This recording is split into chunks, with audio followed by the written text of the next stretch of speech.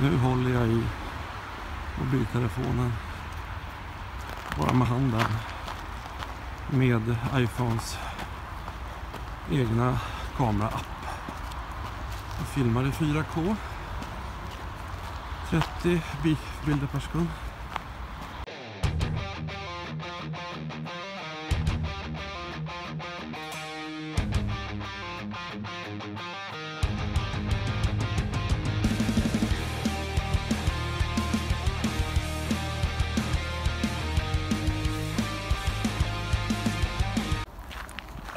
Hej!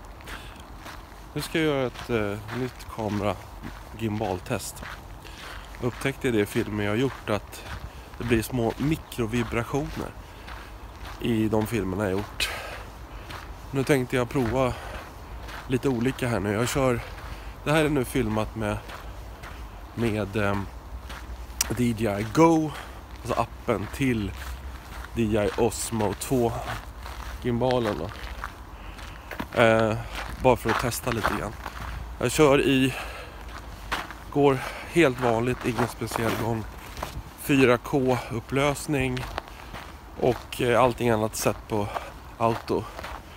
Så det här är DJI Go-appen.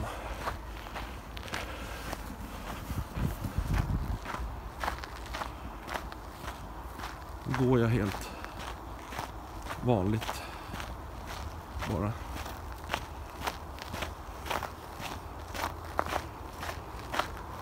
Och nu kör jag bend.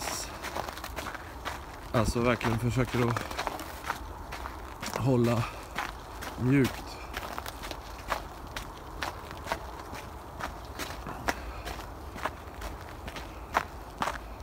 Nu går jag vanligt igen. Nu är det iPhones egen.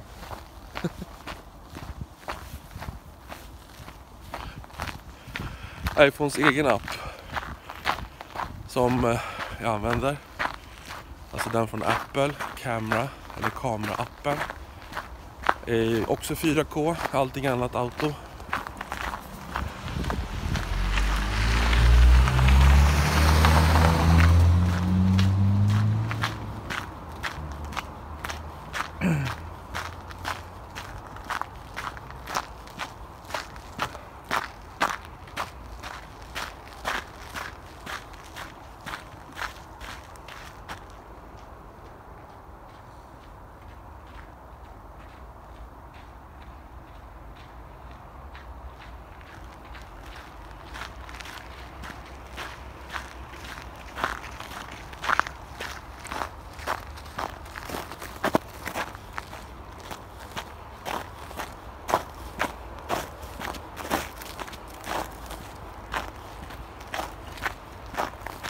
Försöka gå lite mjukare här i snön.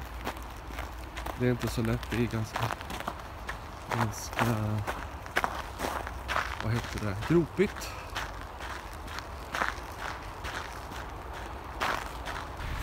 Okej, nu har jag, det, är också, det här är också Filmic Pro 4K 30 FPS.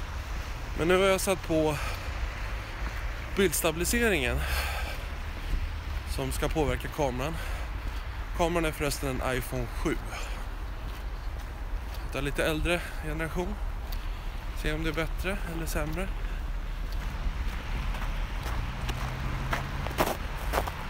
Gå här över snön lite.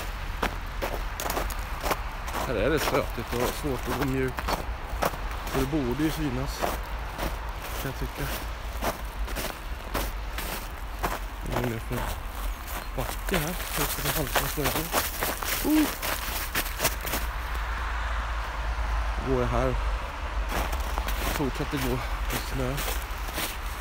Bara för att det ska vara lite extra krångligt att gå.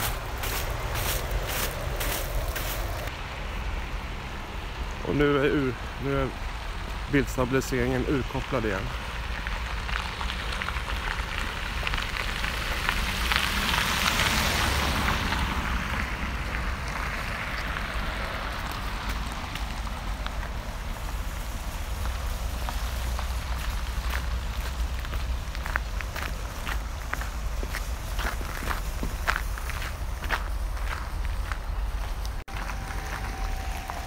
Okej, nu ska vi göra ett springtest. Bildstabiliseringen påkopplad.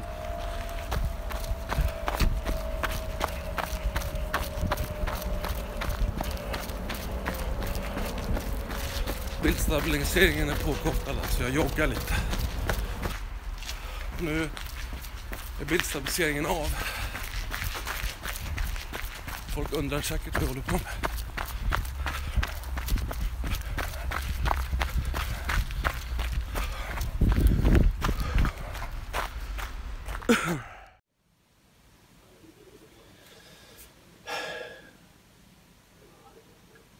Sådana här gemål är ganska lustiga när man använder dem. Man har aldrig använt dem. Eh, DJI Osmo Mobile 2 som sagt.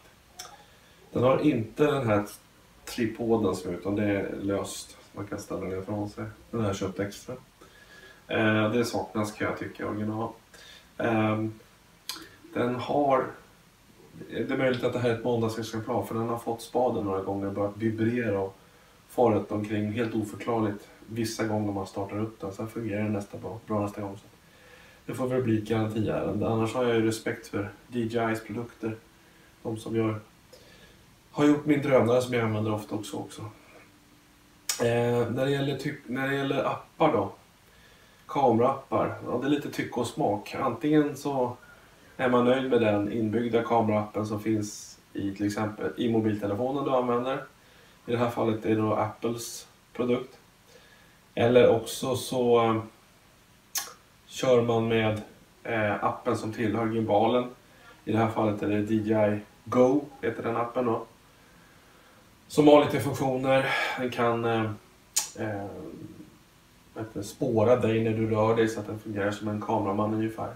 Tracking liknande funktioner som finns på DJIs drönare om, om man är van vid dem. Man kan göra panoramabilder, man kan ta, vad heter det, man kan göra eh, så här timelapse. Det vill säga att tar, tar kort varje sekund och så gör man det till film timelapse. Eh, man kan få den att, massa sådana saker som inte jag har hunnit prova än, men i alla fall. Eh, Filmic Pro är en, mest, en väldigt vanligt använd app för, i, i mobilvideosammanhang och den fungerar.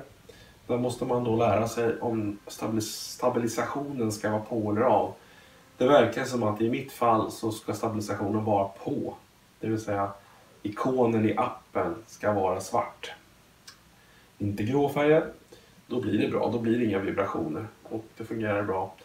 Eh, sen, eh, ja, Filmi Pro, den appen i sig har ju väldigt mycket möjligheter. Man kan låsa vit, vitbalansen och man kan låsa fokus och man kan zooma av sig.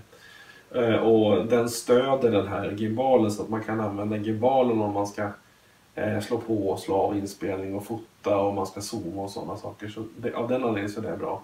Givetvis går ju det också i DJIs app. Det, det stödet finns som jag vet inte i Apples kameraapp. Alltså att man kan styra med eh, gimbalens egna knappar och zoomknappar och sådana saker. Eh, sammantaget en väldigt bra produkt. Jag tror att jag har lite många exemplar helt enkelt som jag ska lämna in och byta. Eh, för deras grejer brukar som sagt vara bra. Eh, ja, eh, det, det, blir lite... Det, det tar lite mer plats än bara mobiltelefonen. Å andra sidan, ska man videofilma med mobiltelefon så är det verkligen värt att investera i en sån här gimbal för det blir väldigt mycket proffsigare helt enkelt. Resultatet blir mycket proffsigare. Sen handlar det om att man får lära sig använda sakerna på rätt sätt, det är klart.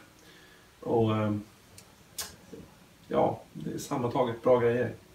Och som sagt, vilken kamera man vill använda det, det anser jag är lite tycke och smak och vad man, vad man tror sig behöva. Men eh, ja, det är sammanfattning vad jag tycker om produkten.